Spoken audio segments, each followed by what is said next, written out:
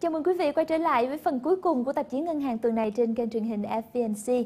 Kính thưa quý vị, thị trường tiền tệ của các nước mới nổi đã có khoảng thời gian đầu năm khó khăn và theo các chuyên gia thì tình hình sẽ còn khó khăn hơn nữa khi mà các vấn đề về Ukraine đang còn căng thẳng.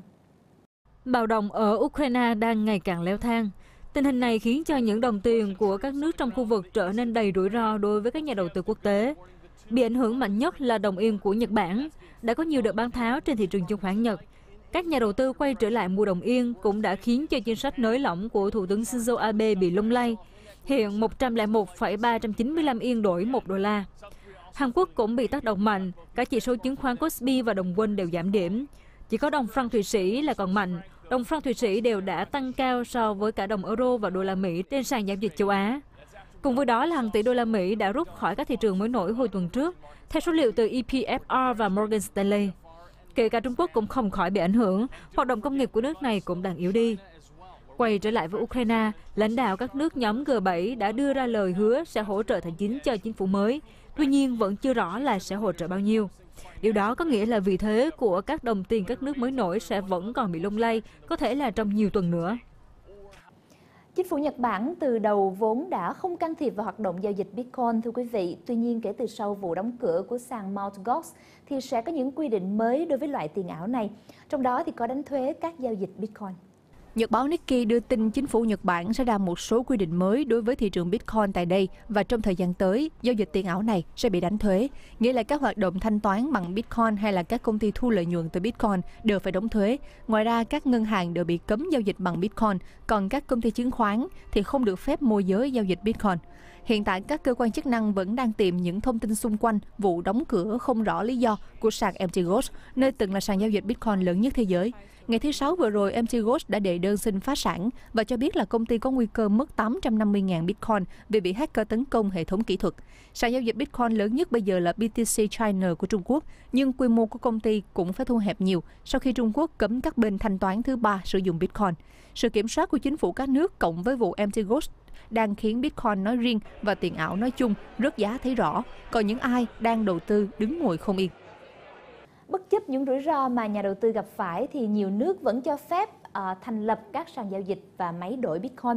Tại Singapore thì đã đưa vào hoạt động máy rút tiền Bitcoin đầu tiên cho phép quy đổi từ tiền mặt sang đồng Bitcoin. Máy đổi tiền Bitcoin đầu tiên tại Singapore được đưa vào hoạt động chỉ một ngày sau khi sàn giao dịch Bitcoin tại Tokyo đóng cửa. Máy đổi tiền tự động này được thiết kế tại Singapore và lắp đặt tại một quán bar ở Boatway, một khu vực lịch sử bên bờ sông Singapore. Florian Cornu, một doanh nhân tại Singapore, tỏ ra thích thú với việc sử dụng đồng Bitcoin. Tôi vẫn chưa biết mọi điều về Bitcoin nhưng tôi có nghiên cứu vài tháng nay rồi. Giờ tôi có Bitcoin trong điện thoại của mình. Để lấy được Bitcoin thì chỉ cần lấy trộm điện thoại của tôi.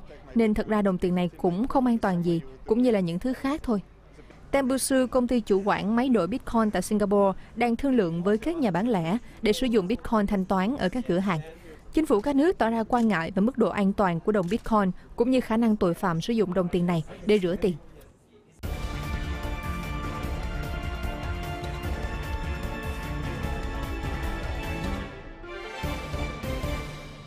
Một lần nữa đến với chuyên mục mỗi tuần một con số trong tạp chí ngân hàng tuần này thì chúng tôi muốn đề cập đến con số 4% thưa quý vị. Đây là tỷ lệ vay gia tăng của các doanh nghiệp quy mô nhỏ tại Mỹ trong tháng 2 vừa qua so với cùng kỳ năm ngoái. Dấu hiệu này cũng cho thấy sự tăng trưởng của nền kinh tế Mỹ, mặc cho thời tiết khắc nghiệt đã bao phủ nước này trong suốt thời gian qua. Các công ty quy mô nhỏ thường có nhu cầu vay vốn để mua công cụ, nhà xưởng hay các thiết bị mới. Với xu thế này thì nhiều người kỳ vọng việc tuyển dụng nhân sự sẽ gia tăng trong thời gian tới. Dựa trên số liệu lịch sử của nền kinh tế Mỹ, thì tình hình vay vốn gia tăng của các doanh nghiệp quy mô nhỏ luôn đi song hành với sự tăng trưởng của kinh tế trong từ 1 đến 2 quý tới. Trước những dấu hiệu tăng trưởng của nền kinh tế thì việc Cục Dự trữ Liên bang Mỹ Fed sẽ tiếp tục cắt giảm chương trình mua trái phiếu hàng tháng của mình là điều không thể tránh khỏi.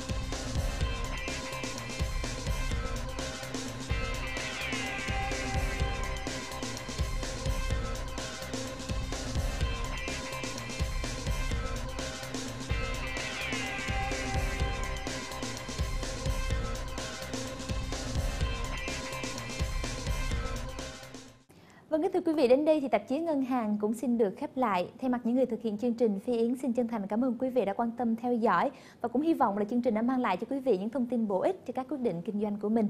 Và đến đây thì Phi Yến xin được kính chào và hẹn gặp lại quý vị trong chương trình kỳ sau.